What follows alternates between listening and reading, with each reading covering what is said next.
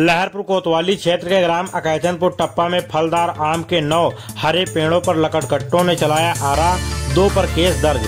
जानकारी के अनुसार ग्राम अकैचनपुर टप्पा में नौ हरे भरे फलदार आम के पेड़ों पर आरा चलाकर लकड़ी उठा ली गई। ग्रामीणों ने आम के पेड़ों की कटान की सूचना वन विभाग के अधिकारियों को दी।